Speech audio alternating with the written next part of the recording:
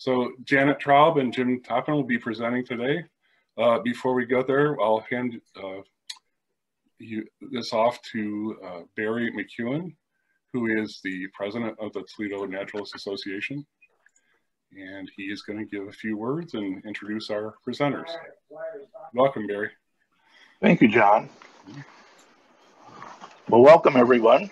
Uh, appreciate you being here tonight. And uh, this is the October program meeting of the Toledo Naturalist Association. I want to really thank John for all the work he's done on making these Zoom meetings possible and doing all the technical work. As we said last time, the pandemic has had a real effect on this. Uh, programs this year. We've had smaller field trips that uh, people need to make reservations. We have the Zoom program meetings, and next month in November, we'll have our Zoom banquet. Uh, the uh, and, and, this year there'll also be no TNA uh, Naturalist of the Year. But uh, we ask you to be please bear with us as we go through these trying times, and hopefully we'll be able to meet again in person in the, the not too distant future. I want to thank Chris Mancy and uh, the uh, article contributors for our monthly newsletter, both in the uh, print and electronic versions, and to thank uh, Eric Durbin and Kim Smith, and again, John, for keeping our various uh, communications uh, formats going for people. So again, keep checking the website and Facebook for current information because it does change and that's the best place to go to see what's the most current things. Our upcoming field trips uh, posted on the on the website, but the banquet will be November 19th at 7 p.m. Our program will be tiger beetles, speed demons of the insect world. And that will be an opportunity for you to enjoy the banquet from the privacy of your own home. You can have any type of food you want, uh, just order off your individual menus. And then after the presentation for the TNA members, uh, we will do our annual meeting with the election of officers and of some basic reports. So hope you can all join us in November. And then in December, uh, we have our various Christmas bird counts. And again, that will be listed in the TNA newsletter and on the websites. So without any real further ado, I would like to introduce our, our two speakers for tonight, uh, Janet Traub and, and, Jim Toppin. And I think some of you got here earlier and you probably saw a little bio on them. Uh, but Janet has been a stewardship volunteer uh, with Kitty Todd Nature Preserve, He's been involved with Nature Conservancy. Uh, they've participated uh, with the American, I probably won't get this right because I haven't had Latin since high school, oh. Bryological and Lichenological Society and the Ohio Moss and uh, Lichen Association. Uh, Janet worked in land survey business and most recently has been studying satellite, satellite sensing uh, images of Lake Erie uh, to uh, reveal information about the lake and how that's been affected health-wise and how satellites can help with that. She says she's now uh, calmly waiting out the pandemic at Catawba Island and needs a little more exercise. So I guess she'll be getting out looking at more lichens. And then Jim uh, was a translator of Russian and French in areas of manufacturing and public health. He tutored part-time at Owens College. He's the author of Stories of the Soviet Anti-Plague System, an occasional paper of the Monterey Institute of International Studies. And since the late 1980s, he and Janet have volunteered for uh, invasive plant control, seed collecting, prescribed burns, and uh, a number of different things for the Nature Conservancy, both in Ohio and Michigan, and maybe a few other places as well. So at this point, I would like to turn it over to Janet and Jim. Thank you very much. Thanks, Barry. Thanks, Barry. Well, we kind of try to get our slideshow going, see how it goes here. This looks like it. All right. That didn't work. Okay. Try this. Okay, that sounds good. Well, Barry and John have kind of given our whole show for us, so I guess I don't know. Uh, but we are Janet and Jim, and uh, you see on this slide the uh, URL for Ohio Moss Lichen org and that has, just has an amazing amount of content and however much you want to learn it'll really get you going. And most all of it was done by our uh, fellow member uh, bob Klips who was uh, just recently retired from ohio state. Now here is a picture of isidia. So you have seen it lately. This is it right here. The smaller little bumps are features on the surface of certain lichens that are called Isidia, and we'll get into the particulars of why those are called that. And here comes Bob Klips. We're using so many of his photos today that hmm. we thought we'd give you a good hmm. look at him. He's really slow because he stops and takes pictures of everything. Hmm. Go ahead, Jim. Yeah, so here's uh, another close-up of some Isidia, and so those are the bumps on, on top of the surface. Um, and uh, if you notice a particularity there, on the sides, they're the same color as the cortex, which is the outer layer of the, of the, of the uh, thallus, which is the plant. Uh, there's another kind, of, we're going to talk also about soredia, which are come from openings in the plants, and they're kind of some of the material that's inside of the plant. But the, the isidia actually grow on off the surface, and they have that same color as the the, the rest of the surface. And they're named after a, a genus of corals called uh, Isis.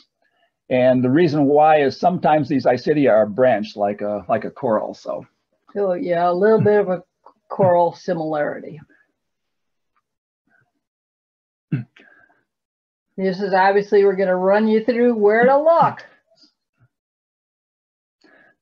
So the first uh, place to look is on any rock surface. Of course, we don't have too much bedrock around here, but fortunately we have the glaciers who left uh, all kinds of erratics all over the place. And we also have people who have uh, poured concrete everywhere. So uh, there are actually a lot of uh, different kinds of rocks to look at. And uh, you'll find that the reason the substrates are so important is you'll find different things on different substrates. So you'll look each time you look at a different item like a rock or a tree trunk, you're likely going to see different things. Expecting different species. Uh, one, one place to find a lot of rocks, and they do some favor calcareous and some favor uh, siliceous rocks, is you go to Sawyer Quarry Park and you go around the big quarry up in the northeast corner there's a lot of boulders that they've hauled away before they started taking off the overburden. So those boulders over there do have a lot of uh, different lichen. And this is what you got to do. You have to hold the lens close to your eye. Don't try to hold it like in the Sherlock Holmes picture. So you got to get right down in there to have a good look. They're more fun up close. And here's some things that you might see smoky eyed boulder lichen. That's going to be in the show a lot because it has a fun name. And actually, that's a good point. Uh, they've tried to assign common names to all lichens, but most of them are pretty boring and lame, obviously, except for this one. Uh, there's a few good ones here and there, but so as a result, most times when people are talking about lichens, you use the, the scientific name, which can get a little tedious for people, but it's really the only way to, to communicate on them. But uh, again, there's been a lot of attempts at common names, and this is one of the successful ones. And here's another substrate. These are down logs. Hmm. And you see that kind of gray green. It's uh, is it? It's a cladonia. Cladonia, maybe Coniocraea. It's got hmm. those little pointy things standing up. Mm-hmm. If you look up and down the log. Yeah, down the lower left-hand corner, there's some of those. But uh, but again, you need a nice close look. But uh, so another substrate is tree trunks. And of course, tree trunks fall over and become logs, but eventually when you see the older logs, you'll find different things starting to grow on them. Uh, but the yellow one here is Candelaria concolor. And the dark gray green one, I don't know what it is. We're not quite sure. so uh, that would require taking a piece of it and taking a better look. But uh, now Candelaria concolor is interesting because it's very uh, resistant to air pollution. So you'll see that in downtown, in the middle of town, right next to highways, uh, you know, any place where even uh, quite polluted areas, you'll you'll see Candelaria concolor. It's very small. Uh, those um, city or the uh, the thallus is probably just a quarter of an inch or uh, each one is it's very small, but uh, Yeah, you can tell just from the tree bark, this is very close. Now here's another one here, uh, walnut tree down at the corner of the road. You see the tree, you notice a little yellowish cast and there it is. I'm pretty sure that's Candelaria concolor. You see a little orangish thing down more by the label. That's probably a different lichen. yes. And here's a soil substrate. So when you're out in the field, again, look for a, a bare spot of soil. You're probably aren't likely to find lichens growing on lawns or really dense kind of grassy areas. You typically want a kind of a bare area uh, is the is the place to look. And that these pictures, a couple of these pictures were taken from Kitty Todd, so there is uh, of some of that reindeer lichen here on the soil. They say reindeer eat that. Here's another one, our, our twigs. One thing about lichens, uh, compared to mosses, lichen require a lot more sunlight. And so they really love the young twigs, the fruit trees, and uh, you'll have a big tree in your yard that won't have any lichen on it, but you'll have a storm and an old branch will fall down from the top and it will, it will have lichen here. And you can see here, it needs a little bit of water for that algae to get going. And so the lichens are a little bit bigger at every little node and branch. And here's another one, and this one has a feature that you might see little circular discs on there. Jim will tell you about that. Well, actually, Janet brought up the point about branches. So when you're out in the field, you also might look at branches that have recently fallen down and are just lying around because there's going to be a lot more light up at the top of the canopy. Now, eventually, when the branches fall, um, again, because of the light conditions and the humidity, those lichens eventually will just die out. But again, they could be thriving up at the top of the canopy, and you wouldn't really know it just from walking around until you see um, until you see a branch that's that's dropped down. Which this brings up an interesting story. Ray Showman, who was uh, one the, who is one of the authors of the Macrolichens of Ohio, uh, lives down in Benton County. He spent his uh, life uh, identifying lichens and doing air pollution studies.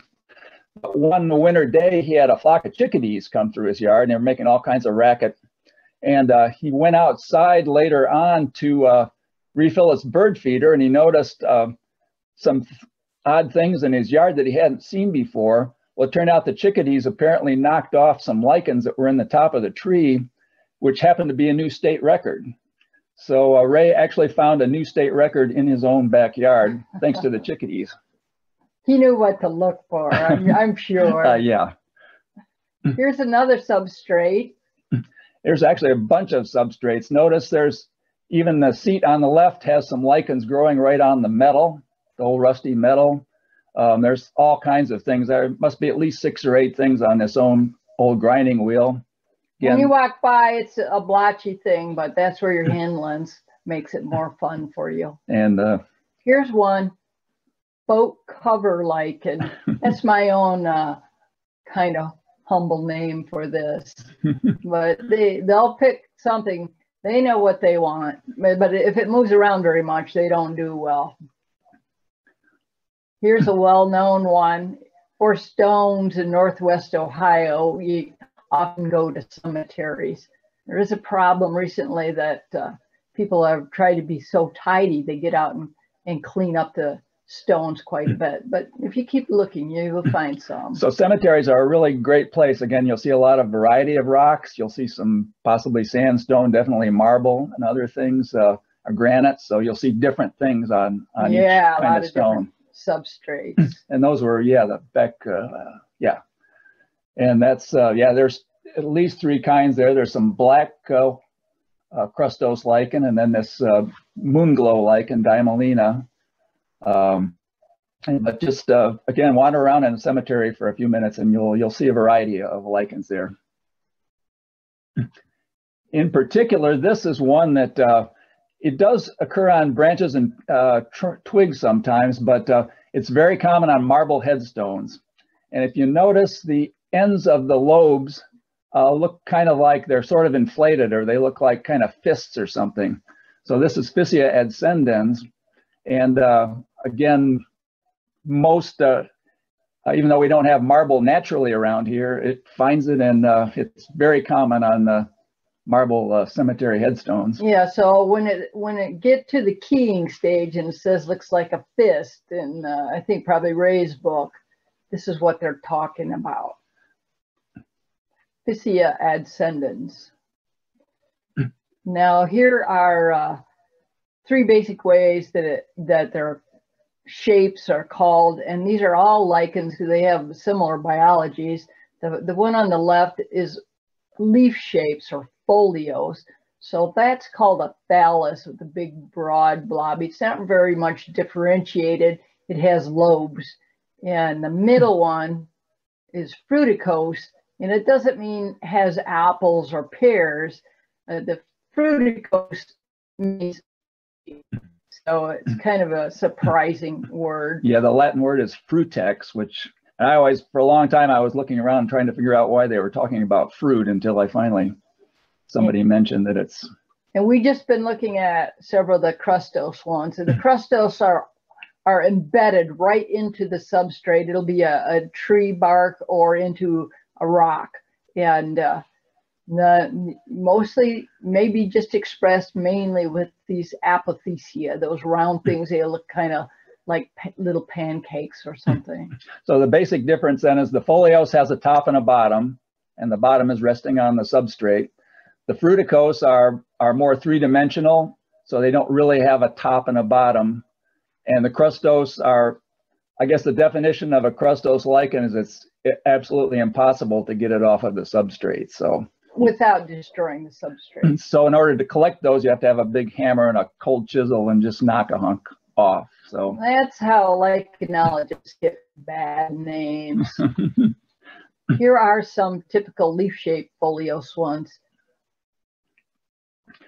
You notice a variety of colors. A lot of uh, lichens are sort of grayish green, uh, light gray, um, but there is uh, some subtle variations. Obviously, the one on the very left is, is quite a bit darker.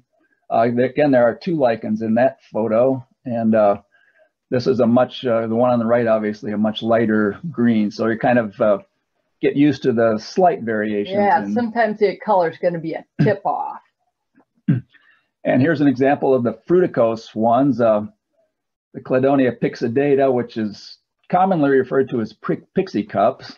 Pixie cup. It's nice to have a common name now and then. That's right. Really nice shot.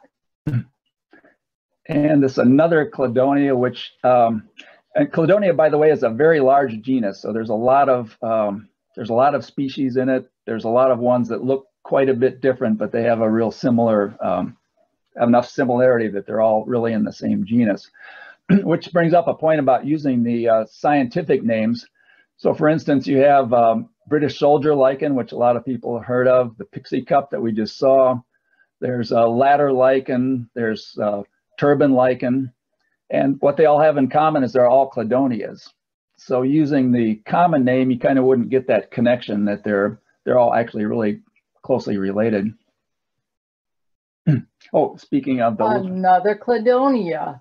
it's like deer horn, I guess. cladonia cervicornis and that's being held by uh, Ian Adams, a photographer from uh, Cuyahoga Falls, who uh, does a lot of nature photography. He came up here to Kitty Todd to uh, photograph some lichens, and in fact, that was one of the ones he really wanted to photograph. So Ooh, we found beautiful. some uh, found some there. On this one here, uh, each little new uh, fruticose, not not apothecia, but with the podetia, the little top comes right out of the middle. There's another one just like it where they come out from around the rim. So I don't know why they decide those things.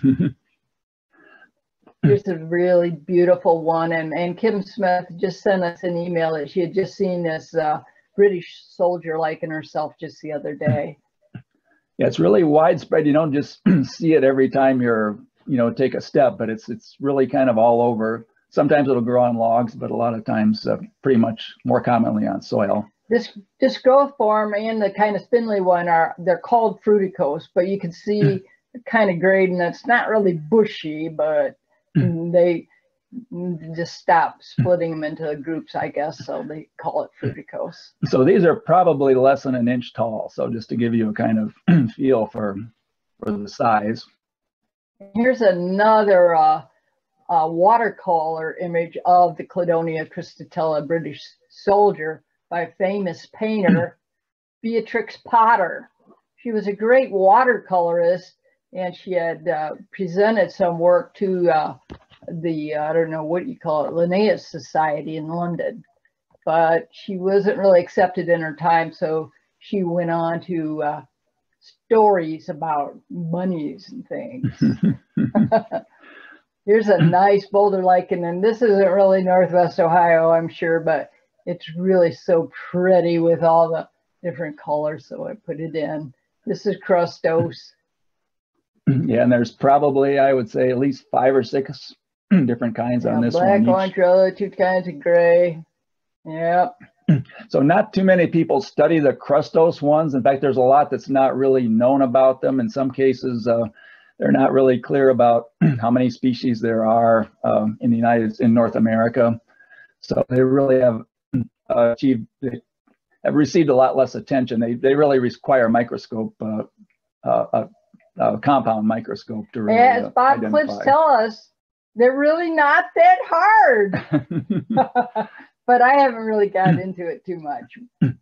Now, the, photo, uh, the foliose and, and fruticose lichens, you can identify those just with a hand lens or a, a dissecting microscope, but uh, these crustose ones here The require. crustose, just because you can't identify it doesn't mean they're not pretty. oh yeah, they're nice and looking. here, here are the smoky uh, eyed boulder like. And You can see the little smoky eyes in the middle, and then it spreads out from there. And that's on a conglomerate, obviously. and each smoky eye has a kind of a darker ring around it. So, Yeah, dark for a- outside ring. and this is one that you'll see really in the uh, very low light. so it's it's uh, it can be in the really in the deep forest where you don't see necessarily a lot of lichens. So it doesn't doesn't really require as much sunlight as, as some of the other ones. This is just a review for you. The crustose, you can't get away without getting the substrate to foliose are the leafy ones, and fruticose are bushy. And of course, there's always a few kind of in between things like a foliose lichen that's really hard to get off the substrate, but it's um, Yeah, the foliose just be just because we say crustose is hard doesn't mean foliose isn't really hard.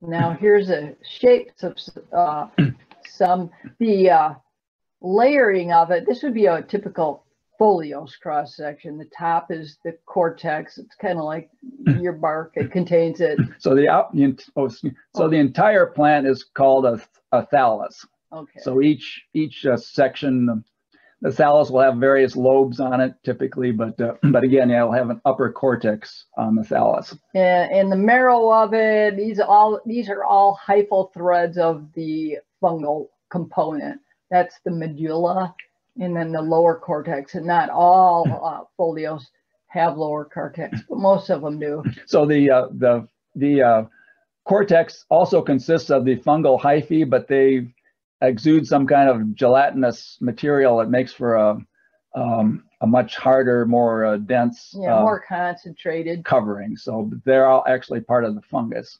And then you see here the uh, algal layer is layer uh, uh, arrayed toward the top, so you're going to take advantage of the sunlight for photosynthesis. And the rhizines, kind of a word that's related to roots, those can help hold on to the substrate. So the rhizines are uh, they're also useful for identification. Sometimes the rhizines are branched, sometimes they're forked. Uh, sometimes they're a different color. For instance, they may be a sort of a whitish color as opposed to black. So, uh, however, sometimes they're hard to see because you can't. It's not always easy to see the underside of, of the of the lower cortex. But Yeah, sometimes we slice through these and find out some things, drop some chemicals on there and see what happens.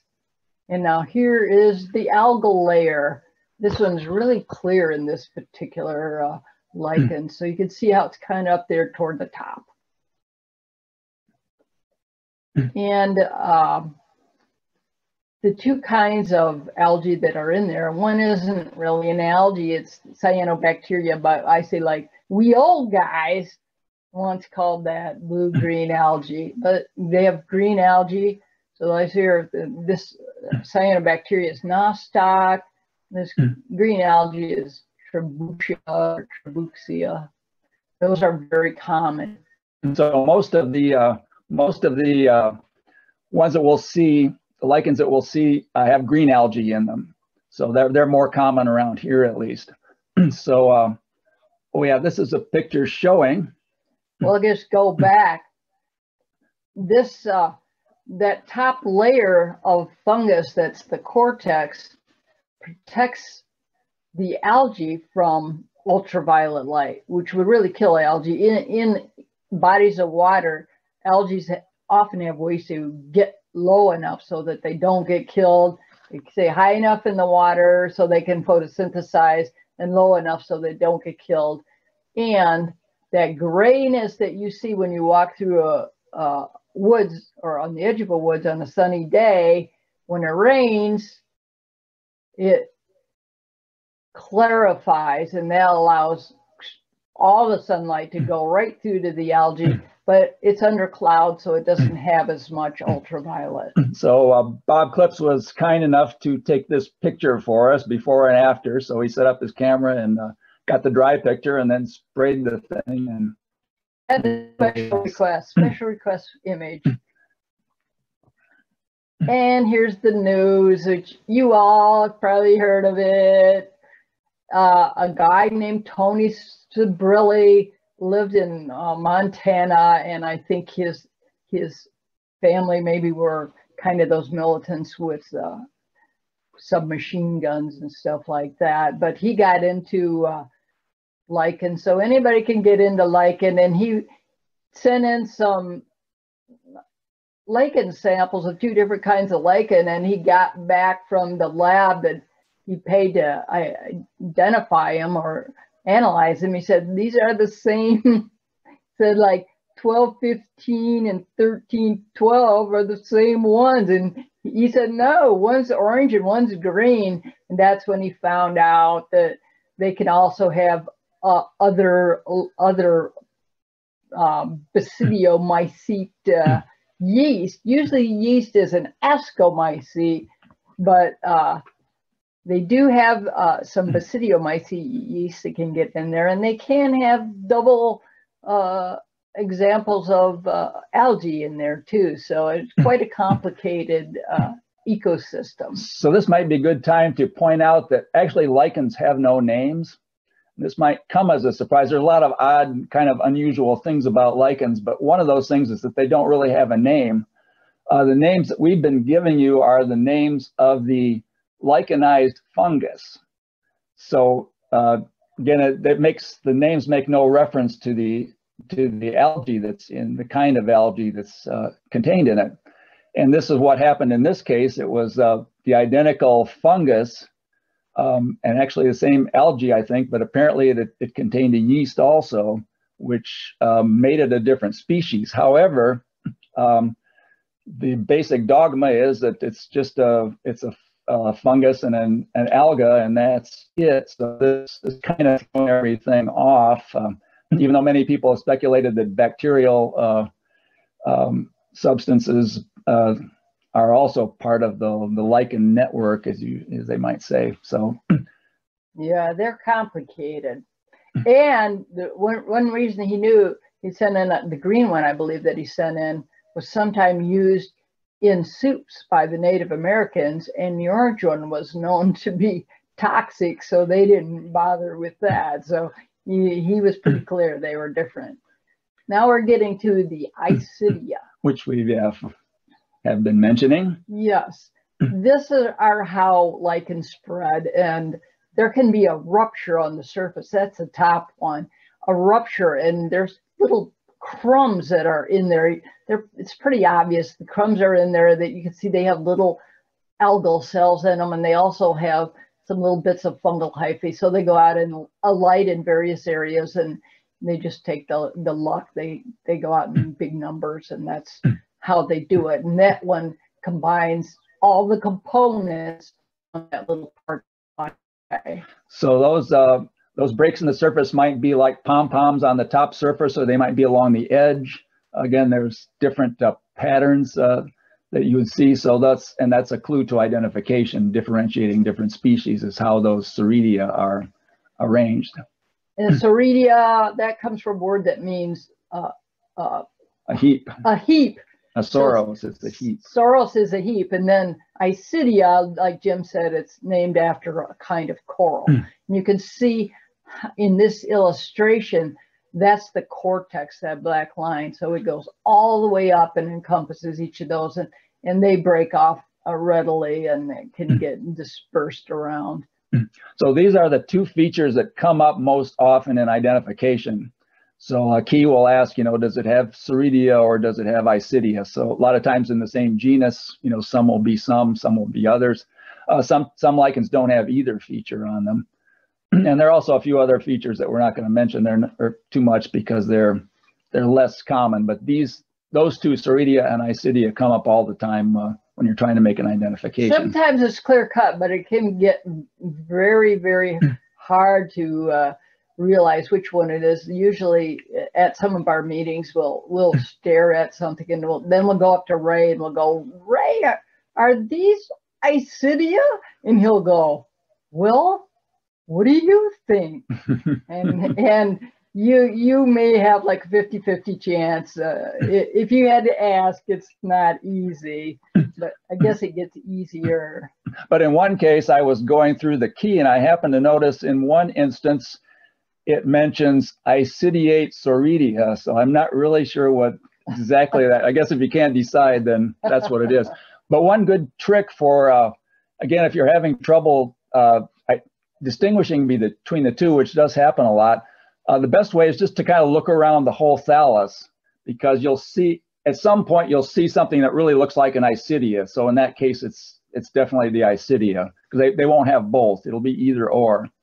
Um, so just kind of look around. But again, sometimes it's, it's not easy to, to tell what the what the color is. and uh and the bottom one is strictly a fungal reproductive structure now this one is is uh fungal sexual reproduction it's an apothecium which a word that means a storehouse all those things that looks like little tasty donuts or pancakes and stuff those are apothecia and they have those typical uh, little fungal containers that shoot spores out and then they have to get lucky once they're out and get connected with the right uh, algae when they're out there which sometimes they wait around with a algae that they're dating but they don't actually find the one that makes the the lichen until later but they can wait it out apparently for quite a while.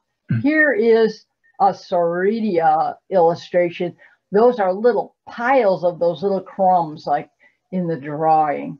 So that's Physcia americana. And here's some more Soredia. These are kind of arrayed out on the very edges of the thallus. And this one's in the hmm. Maumee State hmm. Forest, like the hmm. only big tree right across from the headquarters of the Maumee State Forest. Do you Yeah. remember what the name of this? Yeah, it's uh, Flavopunctelia soredica. Uh-oh. So our internet connection just got unstable. So it's been nice talking if No. anything happens. but uh, what did you say it was again, Jim? uh, Flavopunctelia soredica. Flavopomphilia. Fu- Punctelia. All right. And then here we're back to the Isidia. Sometimes when you have the Isidia look, they look like little blackheads to me. So that's something else. And here we're back to the apothecia, and these are strictly fungal reproductive bodies, and these look so tasty to me, like little tarts. So notice here that, again, the rim of the uh, apothecia is the same color as the thallus, but the inside is kind of a darker or different color. So, but once in some species, uh, they'll both be the same color. So that's kind of just another minor feature to, to look at, but it's it's useful for identifying. Yeah, sometimes they ask that. And in this, just a, a little more to illustrate the idea. So two, Two types. two different kinds. Mhm. And this is a picture I took. but this is the fire dot lichen. You're very likely to see this on your sidewalk or your curb or something when you, you see these little orange dots. Uh, that's the fire dot lichen. It is just pretty much everywhere. So, So very common. oh yeah. Here's a review. Soria are the crumbs, Isidia are the little fingers, and Apothecium are the little tarts. Mhm. And here's another feature. The cilia are like little eyelashes there. So there are not too many kinds that have the cilia. This one is a Parmotrema, which is called a ruffle lichen. And that's that's a halfway decent common name, I admit. But uh, again, that has common uh, has most of the species have uh, these cilia eyelashes kind of. Parmotrema hypotropum. And see how it's white on the back? I'm not sure that it has a uh, cortex on the underside. I think it's a light cortex. I think You a think different it is a one. Yeah. cortex? So it is cortex, but a different color than top cortex. Here's another feature called pseudocyphellae. Um, unfortunately, I guess I wish they would have picked a little bit shorter name for this one, but uh, anyhow, they didn't. So these are just breaks in the surface. Now they don't have soredia uh, coming out of them, but they're just a white spots. This is a really common one called uh, Punctelia rudecta. And again, this shows it wet, so it looks kind of green. It's often a sort of a light pale green, but it's very common. It grows uh, pretty large, several uh, several inches across on tree trunks. So it's really one that you'll commonly see. This one here has a red medulla. So if you go up and scrape it, and it's always that kind of brownish gray color, and you get suspicious and you scrape it with your fingernail or a little knife, and you get that pretty red. That's what rubric pulchra means. So in most cases, in most species, the the medulla, again, the fungal hyphae inside are white. Um, so again, this is really stands out. There's a couple that have sort of yellowish one, but this uh, orange red one is is uh, very it's very common. It's quite small. Probably they're only about you know less than an inch across here. The ones we're looking at, but typically there will be something broken off on them, and you can see that little bit of orange. So it's a it's a giveaway for. Can you tell I'm trying to push Jim Oh, a yeah. little bit? this is another shot of Candelaria concolor. When you get in, it looks just like a yellow smear on a tree, but when you get in close, it's just amazingly frilly. And it has soredia around the edges. Oh, Soredia, Yep. those are Soredia. Yeah. It's a little bit out of focus. And this is Xanthomendoza. So you got to see this one. It's so fun to say. You're going to see it's a little orangier. And I think I got a comparison one coming up. No, maybe not. But I'll just go back. That one's a yellowish green. It's very common. This is an orange. This is pretty common too. It's uh, but again, uh, the this is much larger. They're probably an inch or two across, and it's uh, but it's really strikingly orange. So you can there are several species, but they're all all of those are orange. This one here, the Parmelia sulcata, they call it that one, the hammered shield like, and it's like if you uh, pound it with a with your metalworking hammer, you get those ridges in it. So that's why they call it that. And uh, it is good on determining what one that And is. notice there's some soredia on that along the edges or in some of the cracks here and there. So In my experience, I find the Soredia much more frequently than the Mhm. Isidia. This one also has some openings with Soredia in it. Hammered shield lichen again. And I don't know what this one is. we're not sure, but it's a good picture of some soredia. So we had to put that in there. Peltigera, a soil. This is a soil lichen. often grows among mosses. There's uh, I've seen some on the uh, cross country ski trail at uh, Oak Openings Park, and also there's quite a bit. There's, there's several uh, areas of it at uh, Sawyer Quarry. If you uh, if you come from the parking lot and kind of look over the quarry and go to your left a little ways, uh, right around the rim, you'll find there's some areas with a lot of moss, but it has this uh, has one of the peltigerous species, and this is the one that uh, one of the uh, species that has uh, blue-green algae, or oops, excuse me, cyanobacteria. Cyanobacteria. Hey, we know what you mean. These are ones we really don't see very much in uh, Northwest Ohio. The, they demand a higher air quality. So, uh, but uh, these are the usneas. I forget what they call these ones. They have a general name. Oh, beard lichens, Beard. I believe, is a, Yeah, that, that makes sense. So they're very nice. there's quite a few, but they're again, they're definitely an indicator of good air quality. So we don't, We're still uh, trying. not likely to see them here. Cladonia rangiferina, we do have some of that in the Oak Openings Park. I know for sure Mhm. we have that at the Kitty Todd Preserve. And grows on soil. Mhm. Down at, oh, in the lower left, you can see some little uh, pixie cup lichen uh, in there too. So both of those are the soil soil types. Well, this is just a nice uh, ramalina. It means kind of like a antlers. So that's kind of an antler one. Uh, the gray one with all the apothecia, I don't know what that Probably one a is. Physcia or something, or it's, we're not quite sure, but Maybe, maybe at the very bottom, a little bit of the uh, Parmelia sulcata. But notice on the Ramalina, which is, you know, the light green one, uh, does have quite a few apothecia on it. So there's a large one kind of down toward the bottom, but if you, if you look at the, uh, around on the thallus, you'll see it does have some apothecia on this, uh, one. I believe it's Ramalina americana.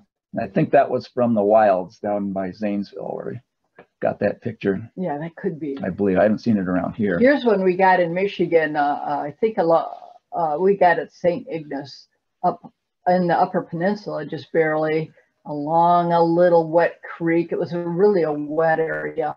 There was more than one of these on on uh, trees leading over the stream.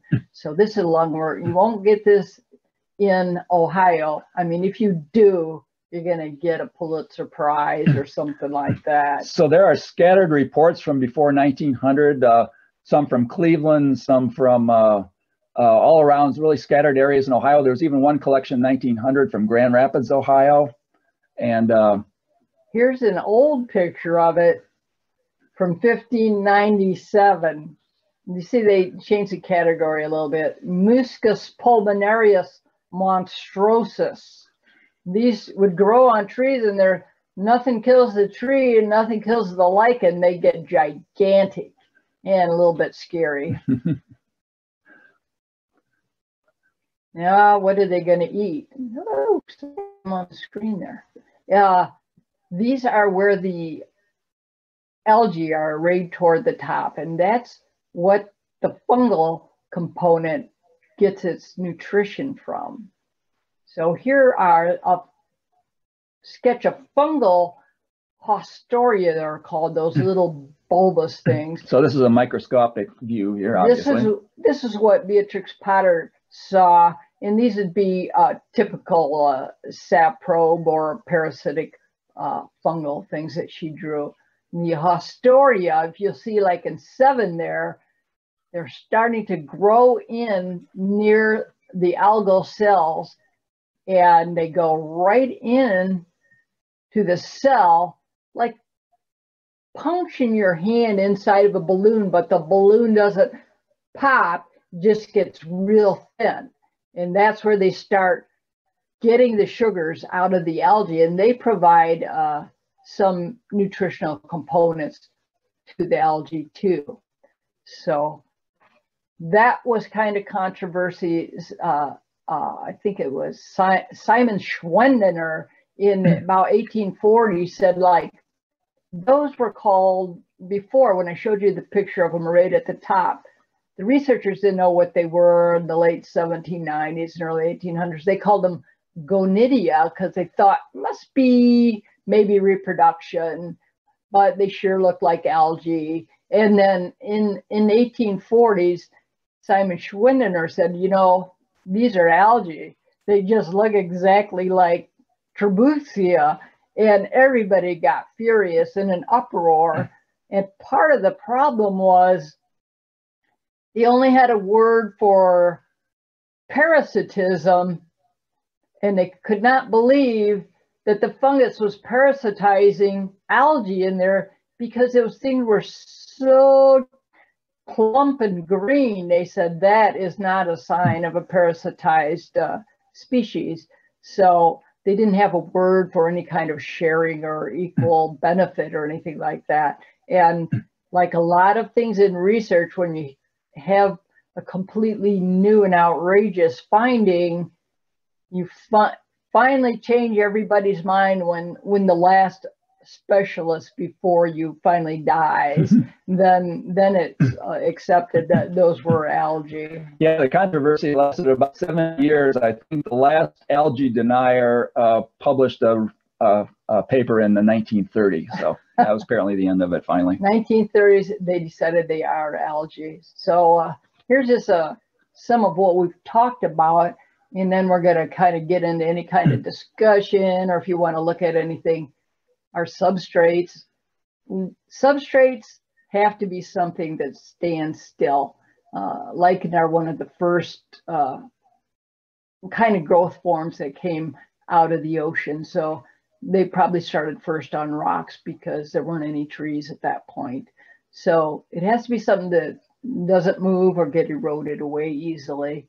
They have various shapes that they adapt to and we talked about the different uh, arrangement of the tissues. So I think mm. we're we're kind of on where we can open it up. Mm. So I don't know if I unshare or stop sharing screen or what. All right. Uh, if you can hear me, yes, very much. Um, we have a few questions from the audience of 35 people. Um, Great. And Marie, I'm going to open you up if you want to ask about the uh, the scope uh, question. Hang on a second. If you're not shy, go ahead and uh, ask about the scope that they were using. Oh yeah, I just wanted to know what kind of her, scope. Her question was, what type of scope are the people in the pictures using to look at the lichen? That is a hand lens, and uh, they call them hand lenses, or you could call them loupes, L O U P E. And so I think I think you would look under hand if you're looking for one on the internet, and they range from about fifteen dollars up to about one hundred fifty dollars. They have really nice ones now with little lights inside. Those LEDs just uh, provide a uh, great illustra- uh, illumination when you're out in the woods. So, because hmm. you get that magnification, they get dark. So that's basically what it is. Awesome. Thank you. Yep. Great. You know, we had uh, John Zabowski got a question. Okay. About, so I'm going to open up the mic to John.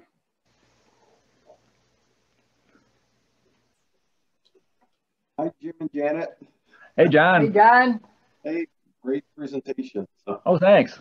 Yeah, I wondered what could we do to help promote lichens and mosses in our yards and gardens? Is there anything we can do to help promote them? Well, the, like what we do around here is not wash off the outside of our gutters. So that's not a very good solution. It just makes you unpopular in your neighborhood uh, they do like to get on old paints or boat covers and stuff like that. So you could set rocks, I guess. Different kinds of rocks, like put a, you know, maybe a granite, uh, depending on if you want to put a few rocks in your landscape, some granite, some, uh, some limestone, a couple different things, you'll get different. They definitely find that in uh, places, and I've seen studies uh, from grad students, say in Maine or something there's a like I don't know what's it something geometricus I forget which one that is and geologists will age from when a glacier has retreated from an area by how large the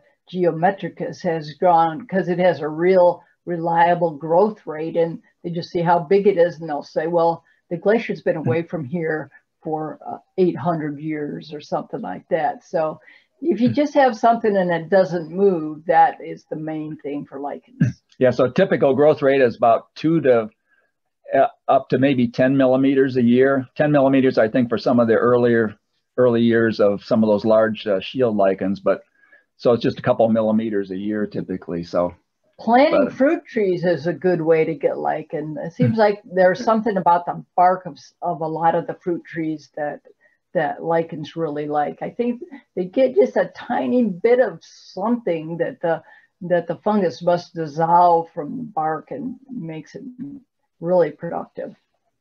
so yeah, just a variety of substrates is the definitely the best way. Okay, great. Thank you. Sure. Okay, I'm going to try something. We had a comment about people uh, being able to discuss with each other. So uh, I thought that was a good point in terms of our process.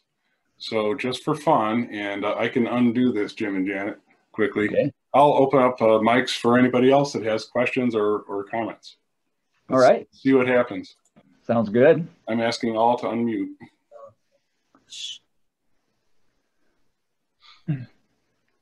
If anyone, if you if you can be orderly, but if anyone would like to jump in, raise your hand uh, and talk to Jim and Janet. Go ahead.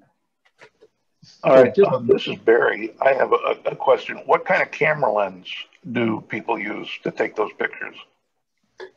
Well, the good ones they use, uh, I think it was uh, called step or stage, JG photography, where Stack- stack. stacked, where they take one at one millimeter, one at two millimeters, one at three millimeters, then they bring it back and use software to take the sharpest focuses and put them together. So it looks completely focused that way. And the ones I take, you could pick them out from 50 feet away on this presentation that they only focus on a real narrow range. So they do use nice cameras. But you know, Ian Adams, uh, the photographer, he teaches a class uh, typically, I think, at the Secrest Ar- Arboretum on using your iPhone. He teaches a whole class of uh, lichen photography, and I believe, I'm pretty sure, on our website, ohiomosslichen.org, Hmm. and has, uh, I believe, a slideshow that he uses for how to, with some ideas about how to use a, an iPhone for Yeah, taking lichen pictures. And he's obviously very successful. that one it. is ohiomosslichen.org. It has all sorts of resources. hmm But uh, yeah, Ian's definitely uh, uh, Ian and Bob Klips are definitely great sources for uh, uh, for camera ideas. But Ian was really very uh, very uh, approving and very enthusiastic about the iPhone. He says he doesn't even carry his big heavy cameras very much ever anymore because he can do everything he wants to without it. But Bob, yeah, he carries around all that stuff and lies in front of a lichen for 15 minutes. You're still working on your. Uh, I'm listening to a lecture. You're not just listening, you're on it. If you have- if you have a question, jump in, and if you don't, you can mute your mic. This is uh, Tammy. I have a question about um, uh, keys or printed uh, guides or sources to use to help identify these. Well, a good one is you probably can't see it real well, but this is the ODNR booklet about lichens. It's free. Hey, Jim, could you stop Yes. sharing for just a moment? And we'll see, we'll get a good video. Yeah, we don't. Okay, Oh, now, okay. now put it there. Let's- Wait, I used to stop sharing, but wait, I gotta go like this. Yeah, she'll get that down. Yeah, this is a free publication. You can get it. Uh, we'll show you in a second. But it, uh, There. I, yeah, I've got that one. oh, okay. That's really a good one to start with. Um, as far as keys go, um, the Macrolichens of Ohio is um, book by Ray Showman and Don Flenniken. And uh, this one, um, again, this has a description of each species. They have revised the keys, and that's available for free on our uh, OhioMossLichen.org uh, website. They've revised some of the names that have, have changed on it. So again, you can get this. Uh, this is available from the Ohio but, uh, Biological Society. And uh, Survey, You have the big As black one? as far as that's a good one Oh, for I'll keys. other one. Ohio Biological Survey, I bet you not society. Oh, that's it. That's right. You're right. Then there's this giant lichen book by Stephen Sharnoff, um, which contains just all kinds of Brodo. wonderful, Aaron Brodo, and uh, it's just, it's so heavy you can't read it while you're lying down because it'll suffocate you. Yeah. But, uh, but, there uh, it is. Everything's backwards. but You got the idea. Lichens. but it's an excellent one. Of course, it covers all of North America, so it's a bit, um, it's a wonderful book and not all that expensive for such a huge, a huge book. so. Irwin Brodo, that this expert is still alive, but he's a such a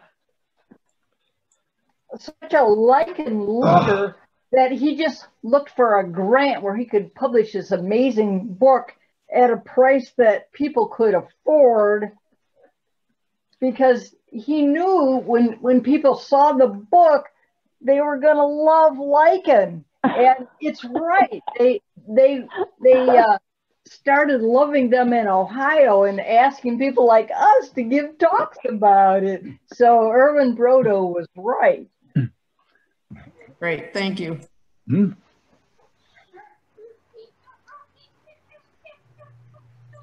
Anybody else?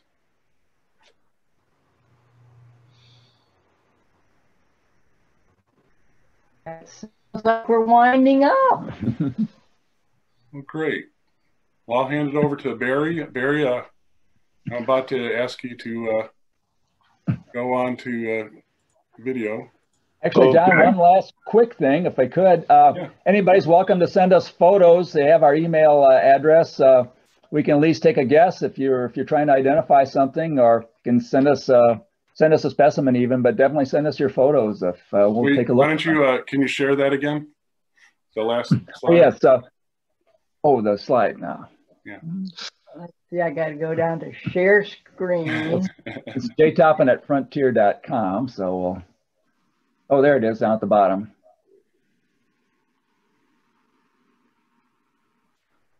Jay Toppin at frontier.com. Yeah, so we have people send us, uh, and also you can put up your photos on iNaturalist. Uh, there's a couple really good Ohio uh, lichenologists that check that all the time, and they they can definitely give you some. I don't I haven't used it too much, but uh, If you put on a lichen, there'll be uh, a, an Ohioan named Curtis Tom, Tom, oh, Thomas Curtis, Tomas Curtis, and he's he's got it down cold. yeah, he's a sophomore at Kent State, I think, but he's really really uh, really into it. So so those are Oh my gosh. Lichen. Wow.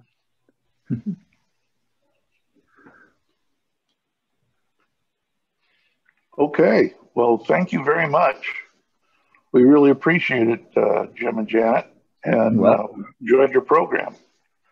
I want Well, to thank, I talked to you. okay. I want to thank everyone for being involved and participating tonight. Uh, we look forward to you at the November 19th banquet, and you can look for more information on that on the uh, TNA website and in our newsletter.